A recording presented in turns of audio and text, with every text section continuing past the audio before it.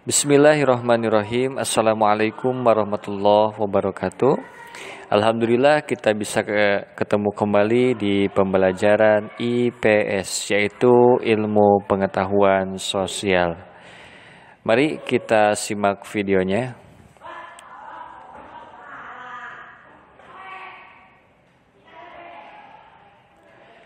Nah, di sini Bapak akan membahas tentang perubahan cuaca. Indonesia dilalui oleh garis katulistiwa. Oleh karena itu, Indonesia termasuk dalam wilayah tropis yang memperoleh sinar matahari sepanjang tahun. Indonesia juga memiliki dua musim, yaitu yang pertama musim hujan dan kemarau yang masing-masing berlangsung selama enam bulan setiap tahunnya.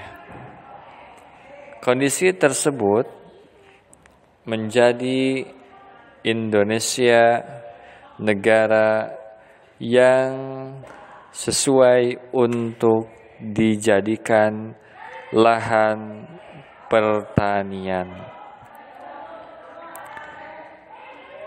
Selanjutnya, kita lihat pengertian cuaca dan perubahannya.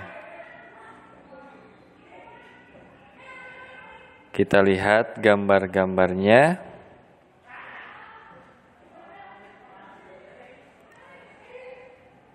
Ada gambar hujan dan ada gambar pada sinar matahari di siang hari. Cuaca adalah kondisi udara di suatu tempat tertentu dalam jangka waktu terbatas. Ada cuaca mendung, cerah, hujan, kemarau, dan berawan. Cuaca dapat berubah dari waktu ke waktu.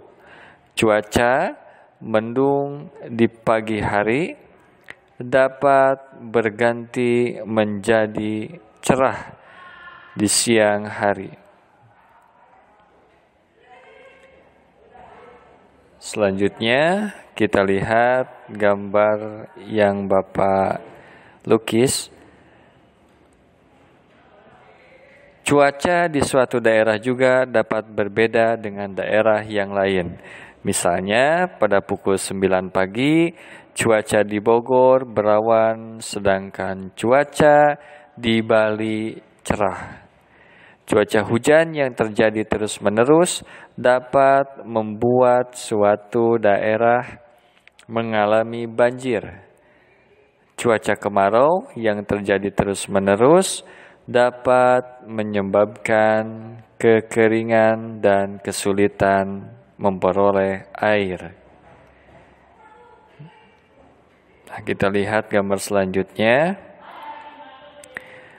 Jadi sebagai negara tropis di Indonesia mengalami dua musim, yaitu musim hujan dan musim kemarau. Musim hujan ditandai dengan seringnya turun hujan sehingga cuaca menjadi sejuk atau dingin. Musim kemarau ditandai dengan jarangnya turun hujan sehingga cuaca terasa panas. Nah, mungkin cukup sekian pembelajaran untuk hari ini. Mudah-mudahan tetap sehat, tetap semangat, dan selalu jaga kesehatan. Wassalamualaikum warahmatullahi wabarakatuh.